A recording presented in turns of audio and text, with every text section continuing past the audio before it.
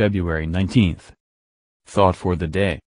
Many things we do in AA are in preparation for that crucial moment when, walking down the street on a nice sunshiny day, we see a nice cool cocktail lounge and the idea of having a drink pops into our minds. If we've trained our minds so that we're well prepared for that crucial moment, we won't take that first drink. In other words, if we've done our AA homework well, we won't slip when temptation comes. In preparation for that crucial moment when I'll be tempted, will I keep in mind the fact that liquor is my enemy?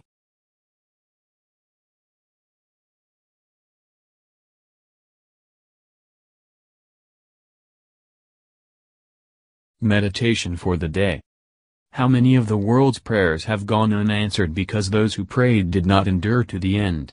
They thought it was too late, that they must act for themselves, that God was not going to guide them. He that endureth to the end, the same shall be saved. Can I endure to the very end? If so, I shall be saved. I will try to endure with courage.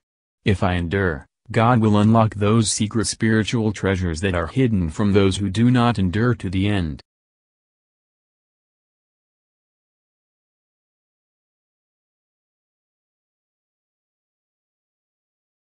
Prayer for the Day I pray that I may follow God's guidance, so that spiritual success shall be mine. I pray that I may never doubt the power of God and so take things into my own hands.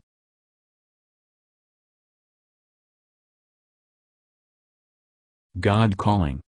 February 19th, Endure. Do not forget to meet all your difficulties with love and laughter. Be assured that I am with you. Remember, remember it is the last few yards that tell. Do not fail me. I cannot fail you. Rest in my love. How many of the world's prayers have gone unanswered because my children who prayed did not endure to the end? They thought it was too late, and that they must act for themselves that I was not going to act for them. Remember my words, he that endureth to the end, the same shall be saved. Can you endure to the end? If so, you shall be saved. But endure with courage, with love and laughter. Oh! My children, is my training too hard? For you, my children, I will unlock the secret treasures hidden from so many. Not one of your cries is unheard.